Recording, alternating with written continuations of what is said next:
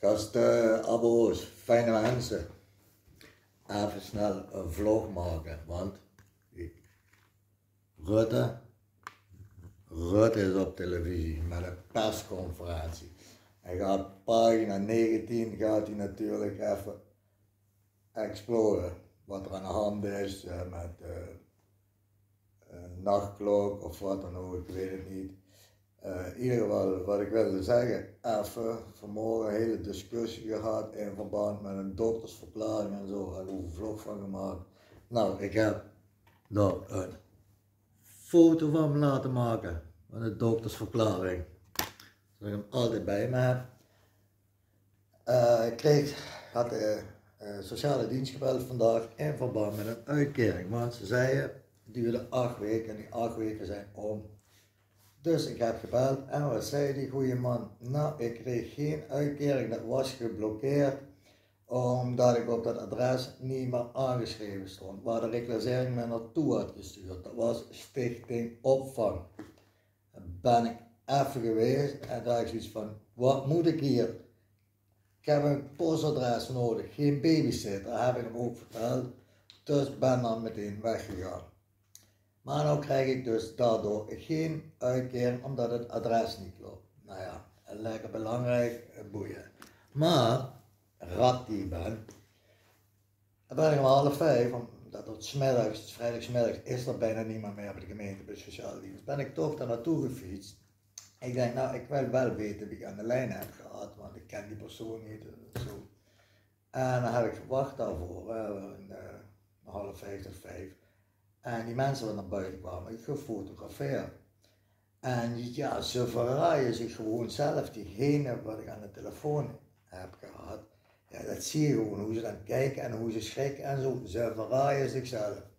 Nou, een rat die ik dan ben, heb ik hem twee straten verder laten lopen en dan ben ik achteraan gefietst en dan heb ik voordat ik langs de fiets heb zo'n zo vette roker omhoog gehaald en die heb ik toen voor hem neer gegooid zo, plaats, zo, hier heb je ook wat.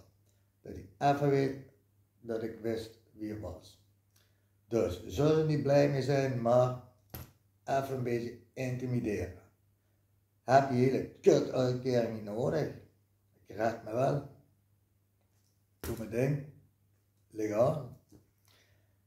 En uh, verder wil ik nog zeggen, in verband met die, uh, die toespraak van die illegale pedofiel, koning, die Willem-Alexander, want uh, die is ergens geweest en mijn maat wilde die zien, nou ik hoef dat niet te zien, ik was gewoon op mijn telefoon bezig.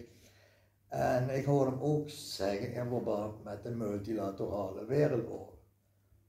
Hoorde ik hem zeggen.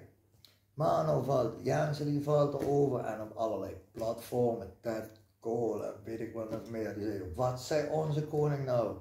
denk ja, mensen, jullie prefereren dat jullie wakker zijn.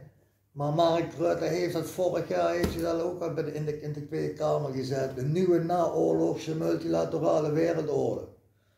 Dat is al zo vaak ter sprake geweest. En nou zegt de koning het, nou, de illegale koning, moet ik zeggen. Die zegt het en opeens is het, Terwijl Rutte heeft het zo vaak gezegd, de nieuwe naoorlogse multilaterale wereldorde.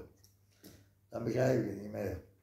Nou is hij ook erop voor waarschijnlijk voor uh, ja, de nachtklok te zetten. En vandaag ook een discussie gehad, ook goede discussies op internet van mensen die mij vroegen naar dat plan. En dat is gewoon, je kunt het zien op internet, de Rockefeller Foundation agenda met uh, Lockstep en noem maar op.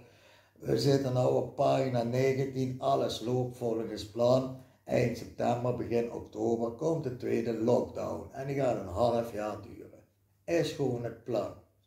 Maar ik hoop dat mensen nou langzaam wakker beginnen te worden en inzien wat er aan de hand is. Want ergens ook met Den Haag, ze hadden heel Den Haag afgezet met schermen. Dat laat al zien hoe bang dat ze zijn. Ik zou Rutte heel graag willen pakken. Echt waar. Ik zou er zelfs een stijve pik van krijgen als ik het zou doen. Maar ik kan het niet doen in verband met mijn kids. Anders had ik het al lang gedaan. Maar we moeten ons verenigen. En als mensen nou nog niet zien wat er aan de hand is, draag mij maar weg dan. Schop mij maar lijk. Want Het is zo duidelijk. Ze zijn een plan af het werken. We zijn nu op pagina 19. Word wakker mensen. Of ik het begrip wordt wakker, maar denk na zou ik zeggen. Het is gewoon een plan wat hun uitvoeren. En als we ons met z'n allen verenigen, en bijvoorbeeld op dinsdag, als een vragenuurtje is, ze allen naar de Tweede Kamer en ze letterlijk eruit zetten. Want ook vorm van democratie en Wilders is gewoon control opposition. Ze noemen het beestje niet bij de naam. Je hebt geen enkele keer horen zeggen, meneer Rutte, je bent gewoon een plan uit het voeren. Niks, nada, noppes. Hoe duidelijk wil je het hebben? Dus, uh, en voor diegenen die altijd opmerkingen over me hebben op internet en wat mijn vlogs hebben gezien en bla bla bla. Ik ben dit ooit begonnen, twee jaar geleden, voor filmpjes te maken voor vrienden, bekenden te laten zien wat ik allemaal voor activiteiten deed en uh, wat voor ik in mijn leven heb. Nou, mijn telefoon is in beslag genomen door het Openbaar Ministerie. Daar kon ik niet meer op mijn oude site met al 65 abonnees. Die anderen hebben ze allemaal gemanipuleerd, eraf gehaald. Die 65 zijn allemaal vrienden, die kennen zo. En dan ben ik die nieuwe begonnen. Ik heb nu 8 abonnees en ik doe het gewoon voor de fun. Ik hoef niet 25 uh, miljoen uh, likes en weet ik wat voor shit allemaal. Nee, boeit me niet. Ik doe het omdat ik het leuk vind. En ik vind het grappig. En vooral mensen die een grote bek hebben. kom, be my guest. Kom. Maar dat doen ze niet. Het zijn van die toetsenbord halen. Zelfs met een jointje op mijn bek. En met één hand op mijn rug.